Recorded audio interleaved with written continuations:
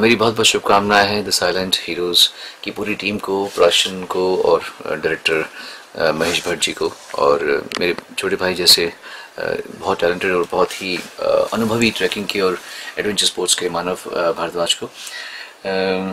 मैंने इसमें गाना गाया है जिसे राहुल मिश्रा ने कंपोज किया है और लिखा भी है। बहुत ही अच्छा गाना है। इनफैक्ट मुझे बड़ी खुशी हो रही है कि मैं इनके साथ में पहले काम कर रहा हूँ। रास्ते वही थे यही थे नजारे। कहा खो गया?